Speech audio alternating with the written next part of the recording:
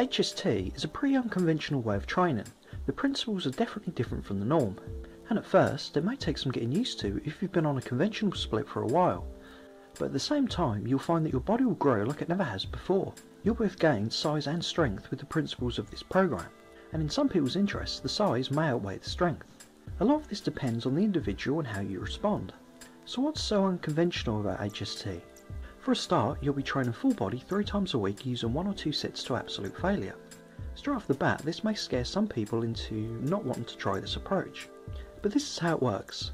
As you use progressive overload throughout the training program, over time muscle tissue adapts and becomes resistant to the damaging effects of the mechanical load caused by the training. The adaptation, resistance to the stimulus, the recruitment of new muscle fibers, and repair can happen in as little as 24 to 48 hours. Thus, the interaction between protein metabolization and any meals you consume in this 24 to 48 hour period may determine the impact of muscle hypertrophy. After 24 to 48 hours, it's only going to slow down. With this being said, if you train a muscle group conventionally with 12 to 16 sets, after the training the given muscle is going to be extremely sore, without much in return as the protein metabolisation will end within 24 to 48 hours. Beyond the first effective set, you'll be doing little more than burning calories.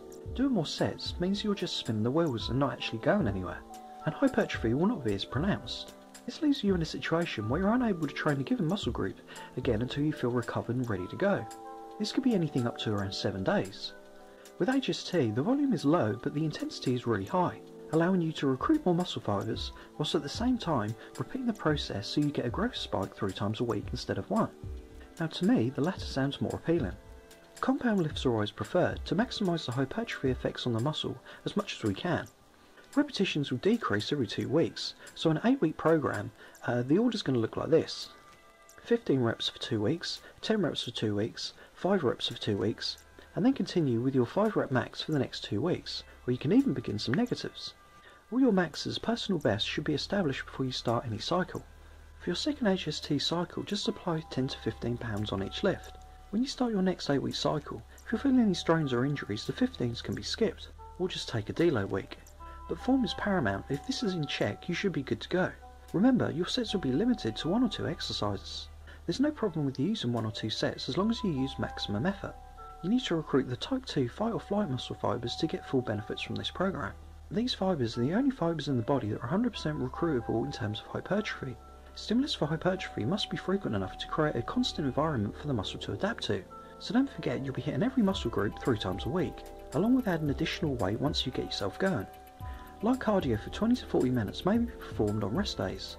Using the principles of HST, you'll see that your muscles are only slightly sore on the days that you're not training, if at all, but rest is really important. So on rest days, make sure that you're not doing any additional activities that could impair your recovery.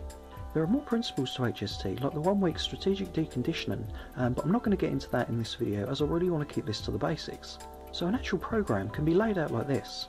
I personally use this program, um, I change exercises every two weeks. You can take or add exercises as you feel fit, say swapping the flat bench for some dips maybe.